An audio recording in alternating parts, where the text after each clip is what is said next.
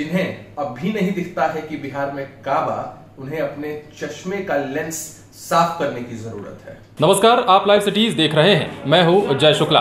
बिहार में विधानसभा चुनाव होने वाला है और ऐसे में सभी दलों के द्वारा सभी गठबंधनों के द्वारा लोगों के बीच जाने का सिलसिला भी शुरू हो चुका है। तो ज़ाहिर है बयानबाजियाँ भी तेज होंगी चाहे वो पक्ष हो या फिर विपक्ष हो। दूस, एक दूसरे पर दोनों की तरफ़ से बयानों की झड़ी लगाने का सिलसिला भी बदस्तूर चल पड़ा है। जी हाँ हम बात करने जा रहे हैं उस गाने की जो गाना बिहार चुनाव के लिए सियासत का कारण बना हुआ है। सबसे पहले विपक्ष ने गाना लॉन्च किया और सवालिये लहजे में उस गाने में ही पूछ डाला कि बिहार में काबा।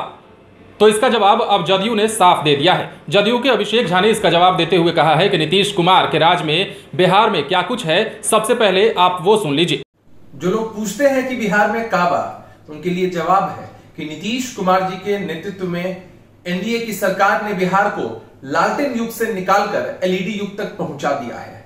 आधारभूत संरचनाओं का निर्माण हो स्वास्थ्य का क्षेत्र, शिक्षा का क्षेत्र लॉ एंड ऑर्डर का क्षेत्र, हर क्षेत्र में अभूतपूर्व बदलाव हुए हैं और बिहार में स्थितियाँ का पहले से काफ़ी बेहतर हुई हैं। आईआईटी खुला आईआईएम खुला, पहले से एक एम्स खुला और उसके बाद अब एक और एम्स दरभंगा में बिहार को मिलने जा रहा है।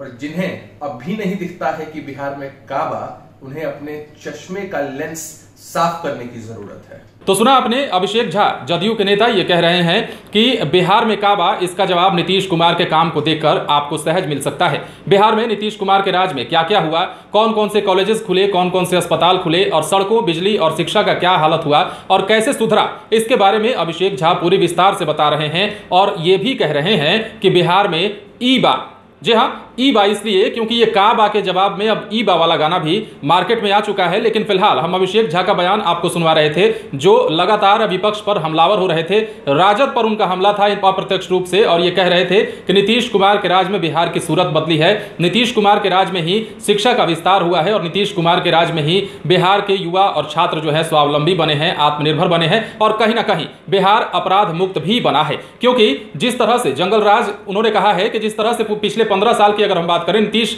के शासनकाल से पीछे की अगर हम बात करते हैं तो वो जंगल राज की स्थिति नीतीश कुमार के आने के बाद कम से कम नहीं रही। तो लगातार कह सकते हैं कि बिहार विधानसभा चुनाव के मद्देनजर अब बयानों का दौर भी चल पड़ा है। गाने को लेकर सियासत साधी जा रही है। गाने के ऊपर बयानों की झड़ी लगाई जा रही है और इसी का जवाब जदयू के अभिषेक झा ने नीतीश कुमार का नेतृत्व करते हुए दे दिया है और बता दिया है कि बिहार में अब ई बा क्योंकि ये सवाल अब नहीं चलेगा कि बिहार में काबा और तस्वीर देखकर साफ़ हो जाती है कि बिहार में काबा। वाकई में बिहार में ई बा अभिषेक झा ने बता दिया है। आप बने रहें लाइव सिटीज़ के साथ। बिहार चुनाव से जुड़ी तमाम खबरें हम आपको बताएँगे, लेकिन उसके लिए आप हमारे चैनल को सब्सक्राइब करें। अगर आप ये वीडियो फेसबुक पर देख रहे हैं तो पेज को लाइक करें। इसके अलावा आप हमें ट्विटर पर भी फॉलो कर सकते हैं। धन्यवाद।